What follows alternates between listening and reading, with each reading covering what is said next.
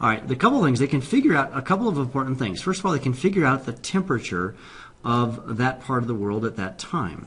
That's amazing to me. But basically, what they can do is that there's two kinds of oxygen, and these are what we call isotopes of each other. And um, there's oxygen 18 and oxygen 16, and they take the ratio. That means they take the oxygen 18, that's how you symbolize it. You divide it by the amount of oxygen um, 16, because you get these little bubbles. I don't know if you can kind of see over here, but there's tiny little bubbles, and uh, we'll see a video clip that explains this a little bit better. And then they figure out this ratio. And from this ratio, they can figure out the temperature. Pretty amazing. Uh, the other thing you can figure out is actually what's in the atmosphere. So if you've got, you know, this ice core and there's these trapped gases, you'll see this in the video clip. These trapped gases, if you then take these gases and you analyze them, you can figure out how much carbon dioxide was present, and then you know how old it is. You know, so for you know from this sliver right here, you know, take this much, and let's say this is you know 200,000 years ago um, they can analyze these two bubbles, or probably thousands of bubbles, and they can figure out, well, how many of them contain carbon dioxide and how much is oxygen and how much is nitrogen. They can figure out how much of everything is in there. So it's pretty uh, pretty cool, I think. So um, let's uh, look at these professors. I think it's professor, professor, and he's going to explain us how the ice cores work. Okay. Inside of this ice core is trapped the environment from about 50,000 years ago. One of the things you can easily see in this ice core are small bubbles. That's the atmosphere trapped at the time that this particular ice was formed. Scientists have only been deciphering the pages of these frozen books for about 40 years.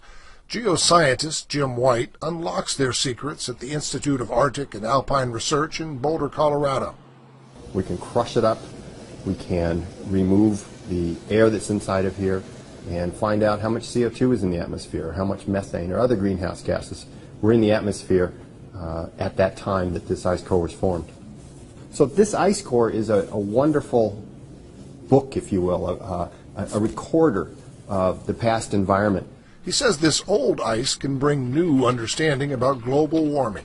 So it's not just that the past tells us uh, what happened, but the past gives us some clues about what could occur in the future. One of the neat things about ice cores is that in areas where you have lots of snow accumulating every year, you have very detailed time records. Uh, Greenland is a place that has lots of accumulation. So we can look at year by year changes 20,000, 30,000, 40,000 years ago.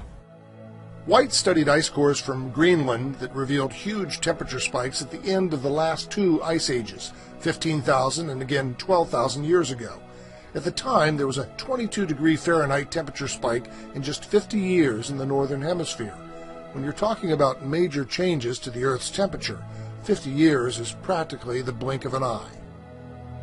The triggers for those ancient, dramatic climate changes atmospheric circulation, like the jet stream, ocean circulation like the Gulf Stream, and fluctuations in levels of sea ice. Where are those trigger points in the modern climate system? Is it sea ice, which is disappearing rapidly? Is it ocean circulation? Is it atmospheric circulation? Or is it some combination of those three? I would say we're still flying blind when it comes to uh, whether or not a rapid change is on its way. More and more data from ice cores is expected to improve computer models for predicting future climate change. That's vital, said White, so the planet can be prepared to adapt. Greenland contains something in the neighborhood of uh, 20 feet of sea level rise, where the, where the entire Greenland ice sheet to melt that would inundate, drown major cities like Miami and Houston and, and New Orleans, Oakland. It would be you know, all around the world. So that's, it, it's important to recognize how much ice is up there. There's a certain rugged and spirited nature to the scientists who work in temperatures around minus 20 Fahrenheit. This time-lapse video is from the drilling shelter at the West Antarctic Ice Sheet Project. After the cores are drilled and retrieved, they are painstakingly prepared for study at more than two dozen universities, with an occasional break for some calisthenics in the cold. Ice cores from the Antarctic and Greenland are flown to the National Ice Core Lab, a National Science Foundation facility near Denver. Many then make it to White's lab at the University of Colorado. We measure about 10,000 samples a year, so we have to take some fairly detailed records in this ice core. there's a thermometer that lurks within the ice. This one is based on the ratio of heavy hydrogen to light hydrogen. The more heavy hydrogen you have, the warmer the cloud was that made the snow. Like all those crime scene investigators on TV, these experts determine the what, where, and when, but with evidence from eons ago. This is a, a system that will uh, analyze carbon monoxide concentration and isotopes in ice cores. Well, this instrument here is measuring the um, hydrogen isotopes of methane.